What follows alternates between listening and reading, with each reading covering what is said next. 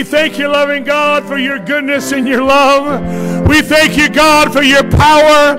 We thank you, loving Jesus, that we have been delivered from sin by your power and by your love and by the blood of Jesus Christ. And now, loving God, we give you glory. We praise and lift up the name of Jesus. There's power in his name, there's healing in his name, there's deliverance in his name. And we thank you, Jesus. Amen and amen. Praise the Lord. You may be seated. How many are thankful for Jesus today? Amen. At this time, the brethren are going to come to help us to receive our Sunday morning worship offering and Sunday morning worship tithe. Amen. All Christians pay tithe. Amen. Amen. That's what the Bible says, anyhow. We pay our tithe. That's 10% of our gross income. I pay tithe. I give to God. I give in offerings. I pay my tithe. And so you do the same thing, and God will support the work here, and with our help, and good things will happen. And God bless you is our prayers you give unto Him. You can give online. There's a QR code. You can even scan it from your seat. It works. It goes right to our website or on Cash App at dollar sign NTCC Junction City.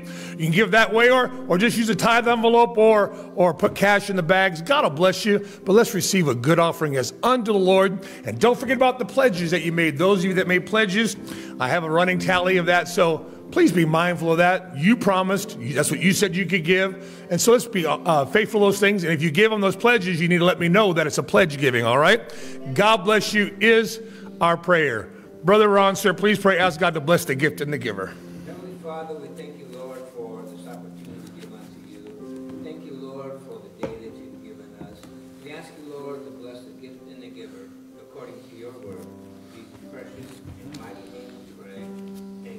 Amen.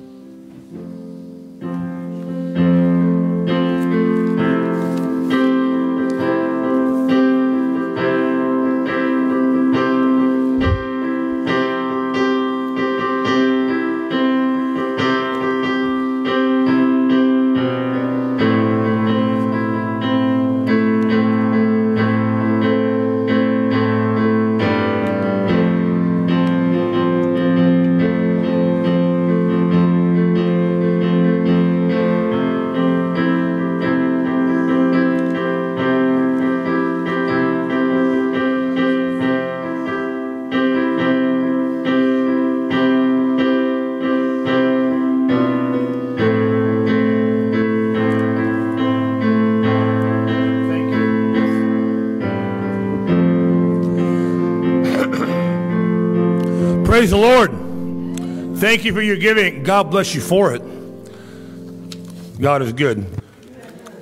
Appreciate those that came yesterday to help do different things. And Jim was out there, was it fertilizer and grass seed? Fertilizing doing grass seed. So he was just walking around the buildings. But he's putting down some fertilizer, some grass seed. We appreciate that. And, and uh, other things outside, cleaning the curbs, all that junk that's in the curbs out there, and got some things done. So we appreciate your faithfulness. And, and Naomi and uh, Rahel were here. They were cleaning inside the church, keeping our church nice and clean for us, all right? So, and I know that, that uh, some could not make it for various different reasons, but for those that did show up, God bless you. Uh, Ashton was here. He's a good worker. And uh, uh, what's his name? Caleb, you know your name. He owes me some time anyhow, so that's a long story. And uh, Saul was here, got things done, so it was a real blessing. Well, what did you do, Pastor? I just walked around and told people what to do. Kind of. I did some things, all right, just for eye wash looks good, right? So, but anyway, we're very, very thankful for that. My, my assistant, my assistant boss over here, right? We're not really bosses. Neither one of us, we don't have that attitude. We just want to work for the Lord. Amen. And I know that I'm the pastor. I know that he's my associate, and I appreciate that, all that he does, but, but we don't have a, a boss employee relationship, right? That's not the way that it is. We work together for the glory of God. So he does the things that I can't do. So young people get down on their knees and do things, right? And us old people sit down on chairs and say, okay, this is as close as I can get. So, but it's all good. And when Reverend Palmer was here, we wanted to change the, the uh, kitchen faucet in the house. Reverend, because Reverend Palmer, you know, he's short and he's skinny, right? And uh, I said, Reverend Palmer, I said, we're going to change. And so it's either me underneath the sink, Reverend Myers in the sink, or, you know, let's go down the sides. Next down to that is Reverend Palmer. And um, I said, you're going to change this kitchen faucet. He said, I don't know how. I said, you will in a minute. So I gave him instructions and he changed it. That's the joys of being small. You can get under the cabinet, right? I can get under the cabinet. Getting back out of the cabinet is a different story, all right? So praise God. So, anyhow, it's good. We work together to see something done for the Lord. I'd like to read to you this morning from the book of Job, chapter 2. Job chapter 2, verse 7. So when Satan so, so went Satan forth from the presence of the Lord and smote Job with sore boils from the sole of his foot unto his crown. And he took him a potsherd to scrape himself withal, and he sat down among the ashes. Then said his wife unto him, Dost thou still retain thine integrity? Curse God and die. But he said unto her, Thou speakest as one of the foolish women speaketh. What? Shall we receive good the hand of God, and shall we not receive evil? And all this did not Job sin with his lips. Then I like to look to Proverbs chapter 20. Proverbs chapter 20, verse 7. The just man walketh in his integrity, his children are blessed after him. And then one more verse of scripture found in 2 Corinthians 5 and 7. For we walk by faith and not by sight. And I'd like to preach to you this morning for a little while on the title of a message Faith is Integrity. Faith is integrity. Reverend Myers, sir, please pray. Heavenly Father, we thank you for your love, your mercy, and allowing us to be gathered here this morning, God, to worship Lord, I ask that you would help pastors and preachers, God. Give them the words to speak, and God, speak to our hearts, open up our ears to what you have for us. Have your way, God, in the this service. We praise you and give you all the glory. In the wonderful name of Jesus we pray. Amen. Amen. All right, so as some of you remember, we have began a message about faith, a series of messages on faith. And each week we are defining a letter of the word and we're spelling out what faith really is. All right, so Again, the goal is number one, a restoring of faith to those who once had it. How many times do we allow our faith to be sapped away from us? Can anyone testify to that? To where things happen in our life and things, uh, you know, kind of, you know, all right, we start out believing God, but things happen and now our belief is kind of like, whoa, what's going on? So our prayer is that you'll have a restoring your faith. Number two, an increase of faith to those who want more. How many want your faith in God to increase? Don't you get tired of being plagued by doubts in your mind and doubts in your heart? And so when we allow God to increase our faith, we can step out and believe God in everything. Praise God. And then, number three, an exercising of our faith to do and to be more for God. I believe that every one of us can do better for the Lord. All of us, myself, every one of us, we can do more for God, and we have to believe God and step out in God and stand upon His promises every day. Praise God. All right, so the letter F, we talked about what faith was itself. We talked about what faith was and how that it is an unquestioning belief and trust. I believe, and I really think that we need to have an unquestioning belief and trust in God. All right, Pastor, I understand that, but no, no, no, no. I told you about yeah, but Christians before, right? How many know what a yeah but Christian is? Some of you should know. You've heard this before. How many doesn't how many does not know what a yeah but Christian is? All right, a couple honest hands there. Some of you did not raise your hands, so you're just sitting there lying. But it's all right. All right. A yeah but Christian is God says, I want you to do this, I want this to happen, and, and we say, Yeah, but God says, live for me and I'll bless you. Yeah, but God says, have faith in me every day. Yeah, but so we become, yeah, but Christians. Uh, no, we ought to say, become, yes, Lord, Christians. Uh, yes, Lord, I'll do what you want me to do. Yes, God, I want to live for you. Yes, God, I know you can help me. And so let's put away the yeah buts uh, and let's become, yes, Lord, Christians. Amen? So then we talk, took it a step further and we shared how that faith is action. Action. All right, it's easy to say that you believe God.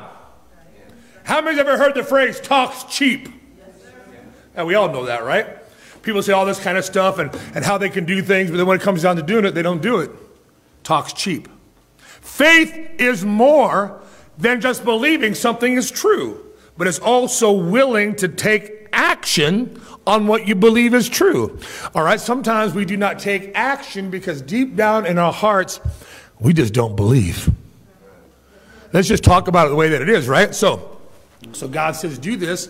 And because we have it reasoned out in our minds and in our hearts, this is what I believe. And you can believe whatever you want to believe, but that does not change the word of God. And so when we believe God and we have that unquestioning belief and trust in God, we're going to have action behind that belief. All right. So your faith, or in other words, your belief and your trust determines your actions. It's one thing to believe God and trust in God, say, God, whatever you want me to do. And God says, all right, go do this. Okay, God, I'll do anything but that.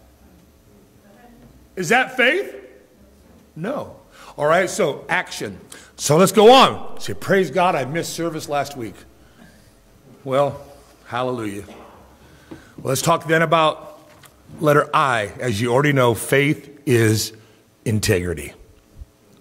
What is integrity? According to the dictionary, it's defined from a Greek word meaning completeness, innocence, and upright.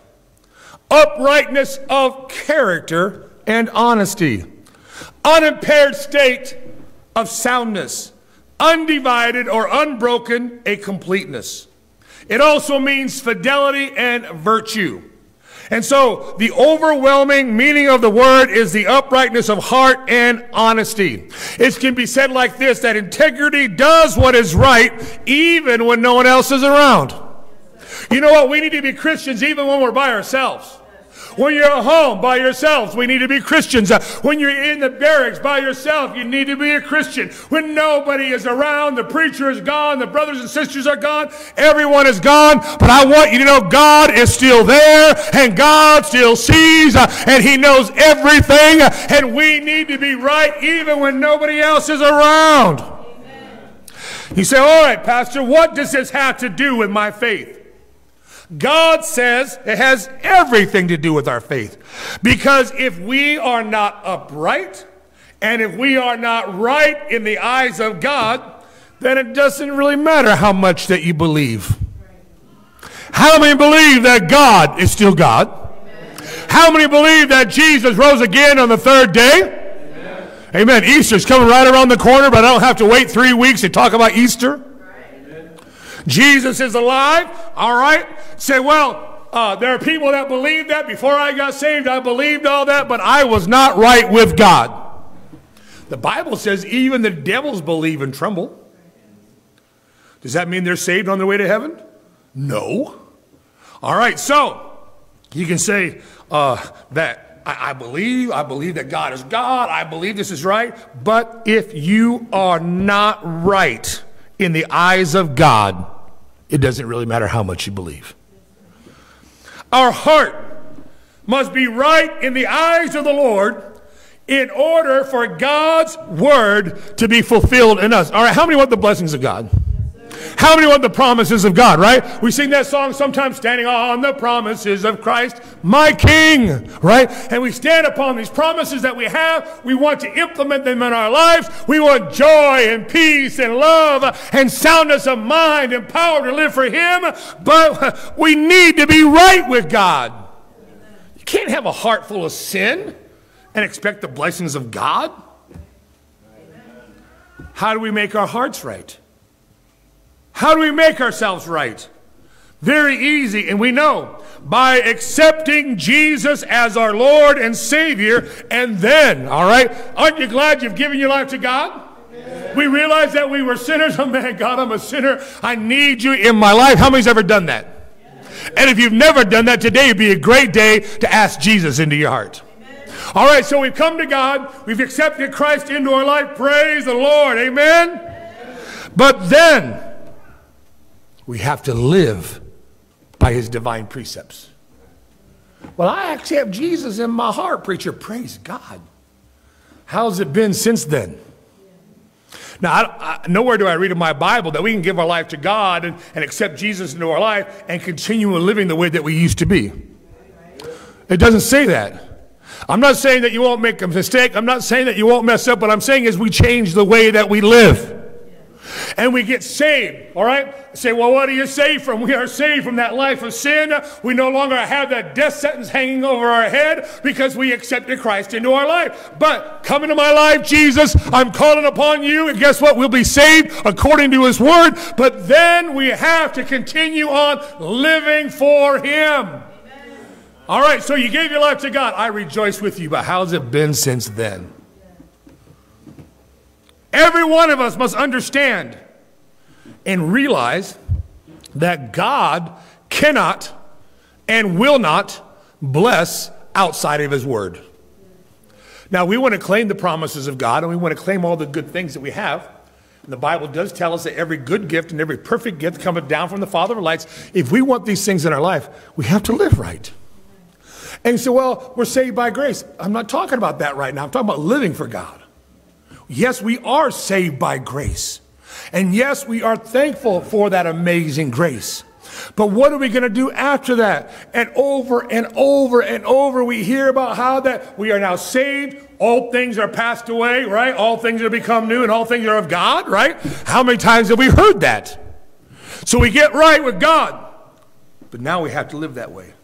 People expect God to bless them, even though their heart is not right in the sight of God.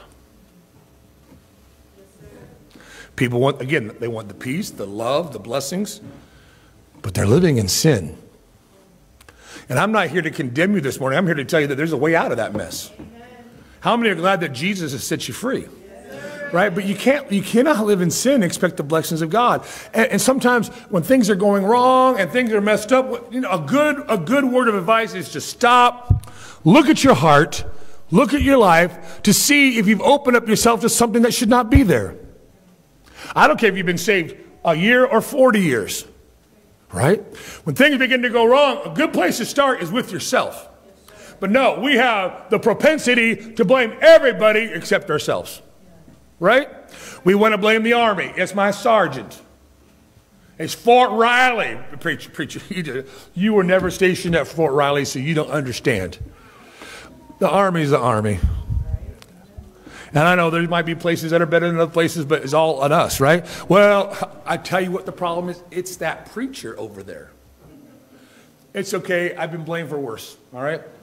And even though it's not true. And, and, so all these things happen. But when things begin to go wrong in your life, and, and there might be things that are causing problems, right? But why don't you stop and pray and reflect upon yourself? How is my heart before God? And you hear me preach about it. You hear him preach about it, about being right with God. So, what does that mean, being right with God? That means that we are in agreement with God. Things are good between us and God. Things are going well between us and God. When you're not right with God, there's something in the way, and that's called sin. It's called self. And so, we need to stop and reflect upon all right, am I living the way I'm supposed to live? And I really contend and believe that most people know when they're living right and they know when they're living wrong. All right? So, how many know that lying is wrong? But people lie. It really goes against integrity, right? How can you live a life of a lie when we're supposed to be serving a God of truth? Integrity, honesty, right? Well, I'm not really lying, but if you're causing me to believe something that's not really true, you've made a lie. Right? Why are things going wrong in my life? Maybe because you don't have integrity before God. And the best thing, God, you know what, my friends? God already knows what's on the inside. You're not, you might fool us, but you're not going to fool God. And that's what matters the most. All right, so I thought about it, and this is maybe a little bit of a lame uh, example, but, you know, thank God for Christian parents, right? So, or parents, they instruct their kids. All right, this is what I want you to do. I want you to clean your room. I want you to take out the trash, clean up this room, do your homework, then you can have the ice cream. Cool. So they take out the trash, they partly clean their room, and they do not do their homework. Would you still give them the ice cream? Well, I think you should because I'm woke and I don't know. I don't know. Not my house. Even though I might have been spoiled a little bit when I was growing up. But my mom and dad, they still had standards that we had to live by. Amen? And so it's the same thing with God. Why would God bless us, his children, if we are not living correctly? God loves you. And the Bible even says that God corrects those whom he loves. All right, so if God gets on our case, we ought to thank God for it. Now, a parent who let the kids just do whatever they want to do, whenever they want to do it, go do what they want to do, stay out all night long, that's not a good parent. Well, that's your opinion. So be it. It is my opinion, right? But the Bible says that we should raise up the children in the right way. But so, so if, and sometimes as kids, we don't like the rules that our parents impose upon us. Hmm? The kids over there in Sunday school right now, so I can't ask them. Ruthie, you're an adult now, so you don't count. All right, what, Caleb, does your mom let you do whatever you want to do? I could go on and embarrass you, make you ask you if you think it's fair or not, but I'll let you, I'll let you off the hook right now. Because most times, like kids, we don't understand, we don't get it. We're like, what's the big deal? To quote somebody that I heard today, it is what it is. right? I heard someone saying that today as they're walking into church. I don't know what they were talking about, but it is what it is. Right? I'm not going to say their name, Rahel, so don't worry. All right, so the thing about it is, we don't like this, so we want the blessings of God. But again, why? The Bible says this in Psalm 84, verse 11 For the Lord God is a sun and shield. The Lord will give grace and glory. I like this. No good thing will he withhold from them that walk uprightly. There's good news in the house. Come on, if we just do right, God's going to bless you. Why is that so hard for you to comprehend? Just do the right thing. Amen. Well, but Pastor, I'm living in sin. Well, then expect the judgment of sin. Right? The wages of sin is death. But the gift of God, oh hallelujah, is eternal life through Jesus Christ our Lord. So look, here's here it is, believing God, having action, and doing the right thing. Romans 8:28, a, a, a verse of scripture we use so much. And we know all things work together for good to them that what? Love God. To them who are the called according to his purpose. How many love God? But things are going wrong. Praise God that God can help us, all right? Walk uprightly. I cannot, well, people don't like this, and, and they don't like accountability, and they don't like to be told how they're supposed to live. Well, guess what? The same things I'm telling you is the same thing that I have to do. I'm not exempt because I'm the pastor. No, I have to live right too. And if I want to be blessed by God, I have to live right. And if things are going wrong, I got to get down on my knees or find somewhere to pray and say, God, what's going on in my life, first of all, so that I can be sure that I am in a right relationship with God. Amen. How many love God? Amen. If you love God, you will keep his commandments. Amen. Those are not my words. If we love him, we'll do what he tells us to do. This is where integrity comes in and comes into play in the life of a Christian. The part of living for God means that we are going to do right. I'm not saying we're perfect, but at least put forth some effort. It's easy to find fault. Sometimes if people would put that energy they have in finding fault, put that energy living for God, they make great Christians. Well, I'm waiting, Pastor. I'm finding fault with you. It's easy to find fault with me because I'm, a, I'm, an, I'm an imperfect human being. But so are you. We're in this thing together. All right, but take that energy rather than finding fault and take that energy for your life to live for God. Amen? Integrity. Why do we do what is right? Why do we do it? I'll tell you why. Are you ready for this? Because it's the right thing to do.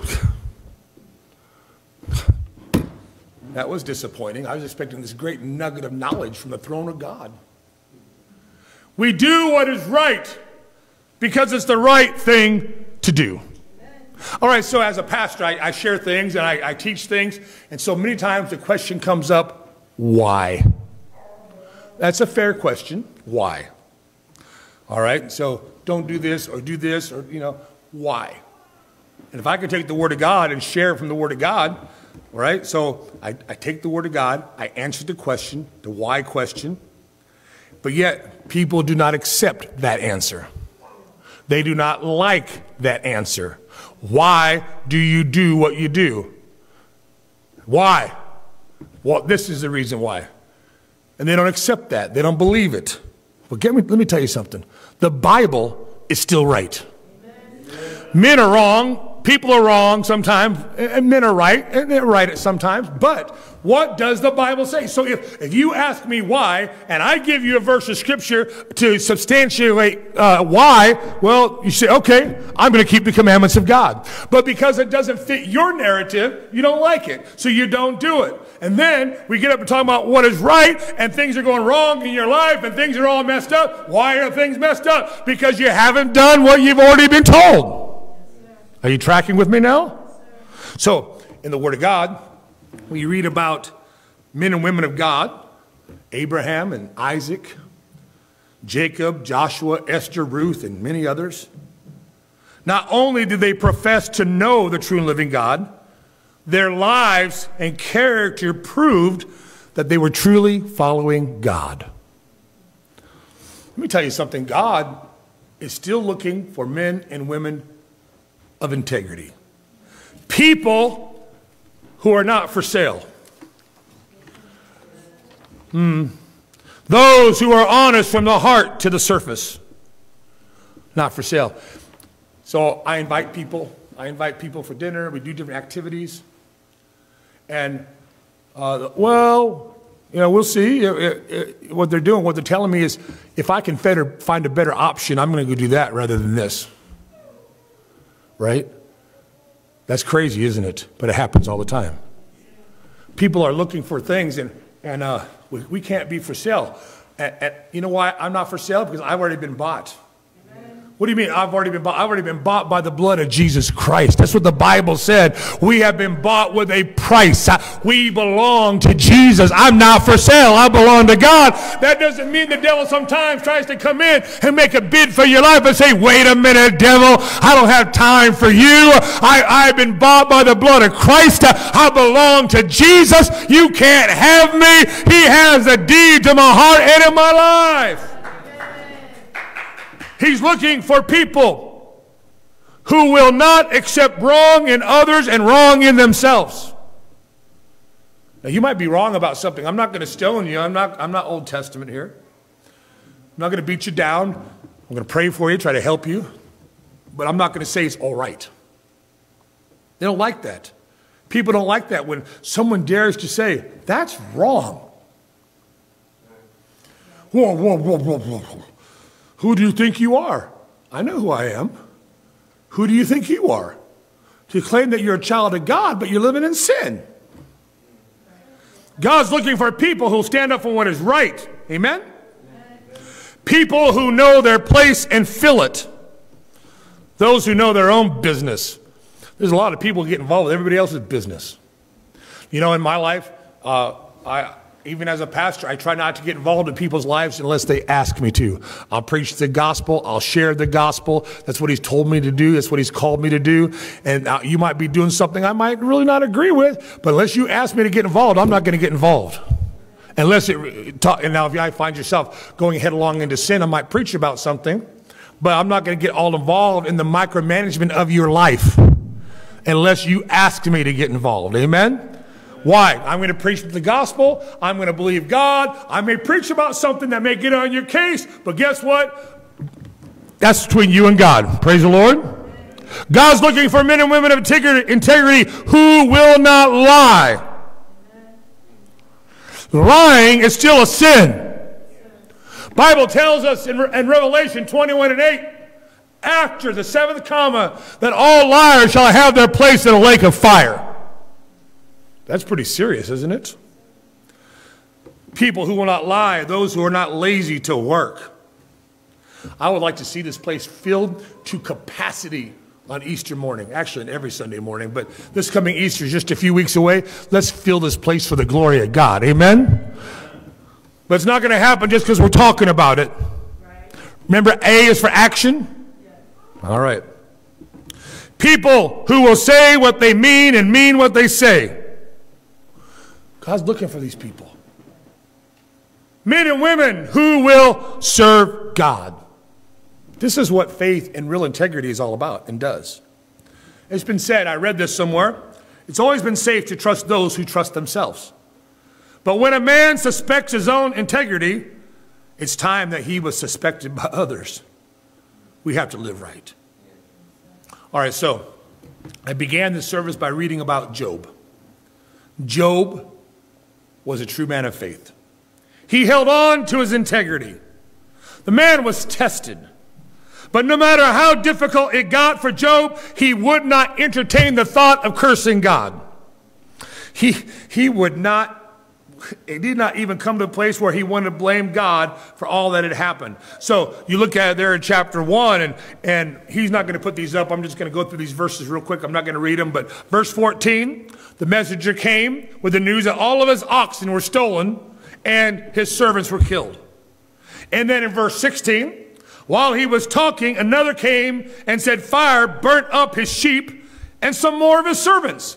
And then in verse 17, and while he was yet speaking, wow, while he was talking, and told him all his camels had been stolen and more servants slain, and while another came, and this time it hit closer to home, he said, while his sons and daughters were drinking wine, the wind blew and the house fell on them and killed them as well.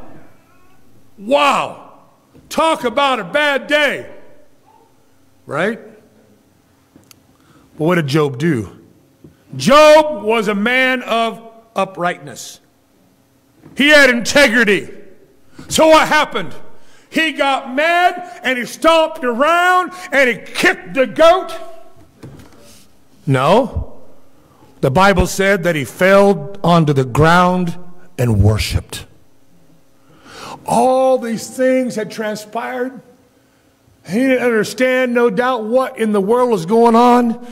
But he fell down on the ground and he began to worship his God. He lost everything that was close, everything that was near and dear to him except his loving, encouraging wife.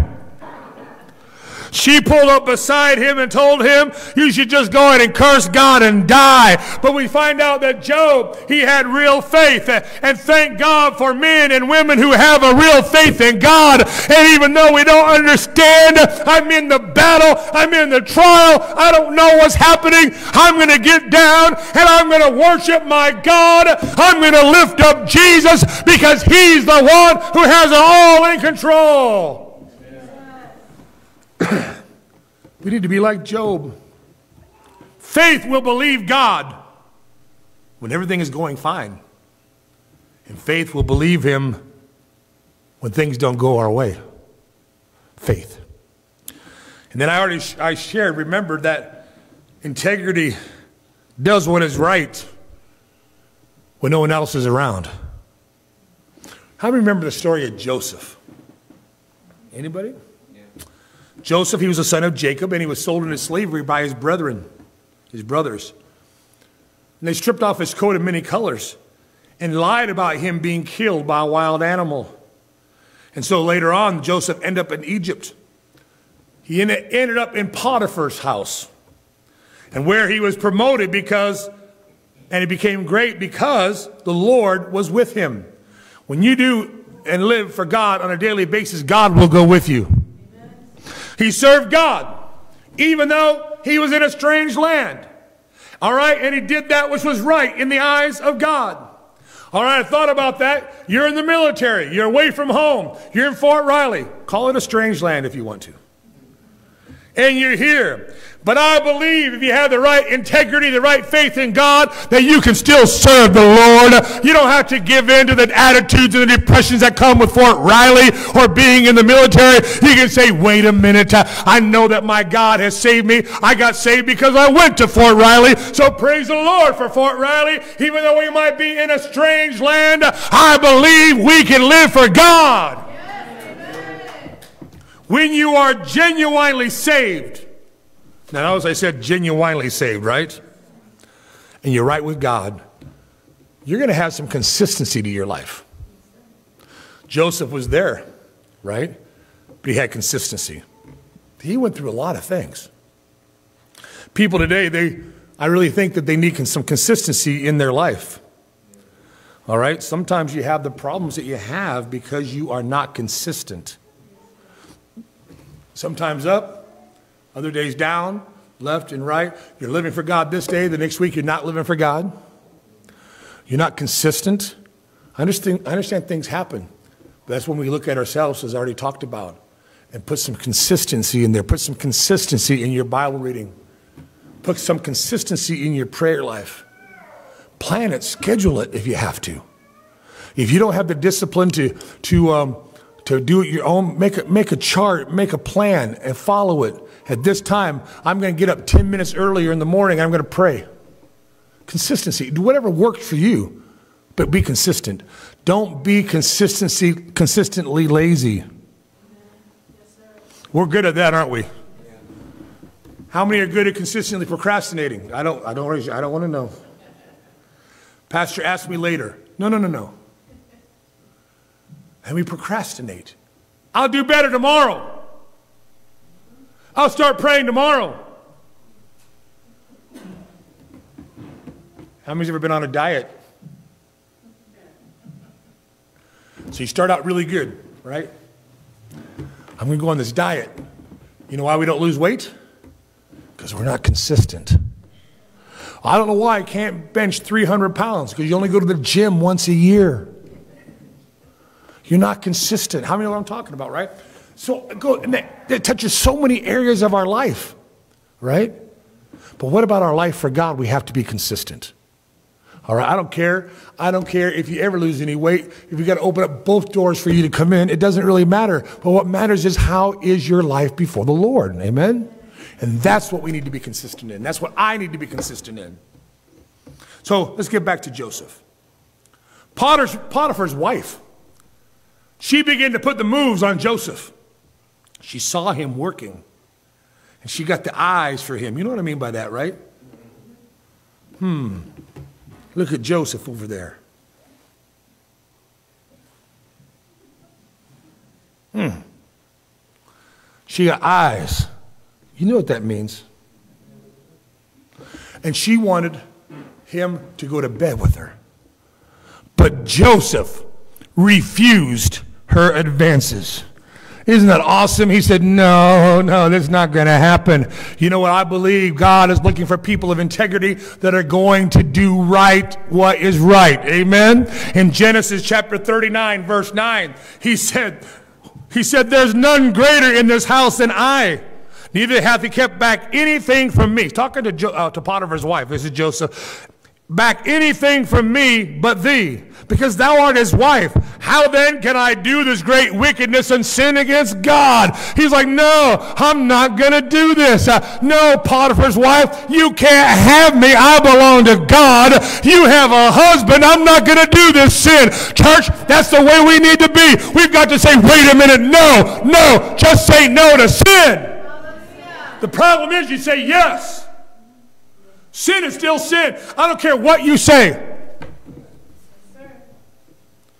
Verse 11, 39 and 11. He's like, in other words, he's going to get out. And she caught him by his garment, saying, Lie with me. And he left his garment in her hand and fled and got him out. So there she was. Hey, hey, Joseph, big boy, why don't you come over here? Maybe she fixed her hair or something, I don't know put on some perfume. You know, there's Joseph. What's that smell? And there she was. Hey, come on. And he, she grabbed him. That's pretty bold, is it not?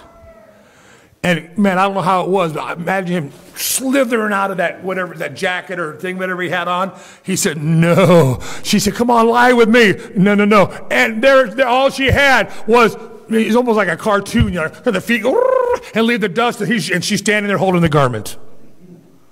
I'm sure it wasn't quite like that, but my imagination thinks things like that. And there she was, well, she got mad, and there's more to the story after that, but God utilized that to elevate him even higher, all right? But the thing about it is, because of his integrity, he made a stand. He said, I'm going to do the right thing. I'm not going to sin. Or she might be attractive, she might smell good, and nobody's going to find out, but there is a God in heaven. He said, I cannot sin against my God.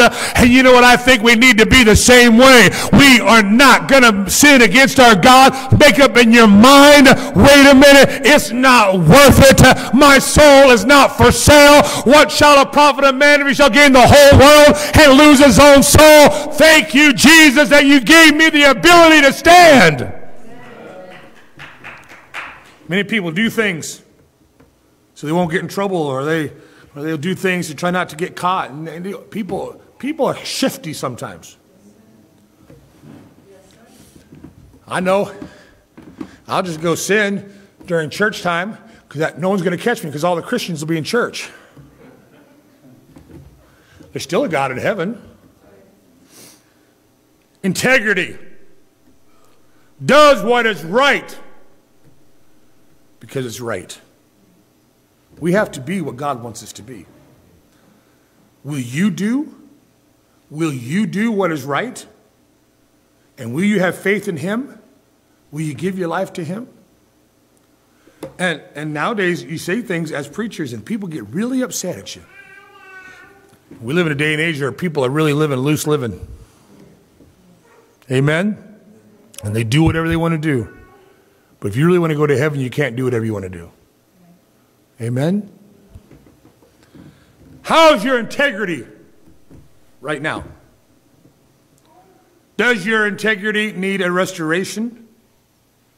Do you find yourself living one way in front of Christians and a different way at home or at work? Faith, that belief in God, and that action. And because of that action, I'm going to do the right thing. I'm going to have integrity. I'm going to stand for God even when my friends and my family don't understand. If you have friends that say, well, why are you going to church? You should say to them, Come with me. Right? Live correctly. And you should do right regardless of what your friends say. I know there's a lot of peer pressure. And your friends can try to get you to do things that you don't want to do. Amen? How we understand peer pressure. And they'll say, they'll say things to you, say, No, I don't want to do that. And they'll make lies about you. I can give you an example. I can give you an example.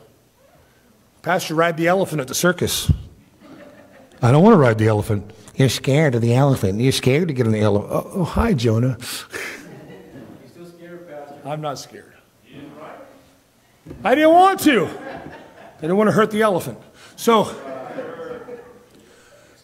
I'm using that as, as an example peer pressure. And that's minor, that's not sin. It wasn't sin not to ride the elephant. I, and I said, no. I'm a free moral agent, just like the rest of us are, right? But what about when there's sin involved? That's when you have to turn to the side of God, even if it means that you're not going to be right with your friends. What's more, more important, your friends or your God? Integrity. As you bow your heads and close your eyes in reverence to the Lord.